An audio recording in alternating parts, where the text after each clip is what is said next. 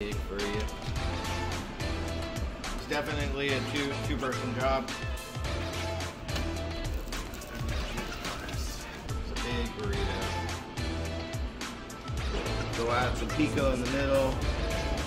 Finish it with some sour cream, guacamole, a little more cheese.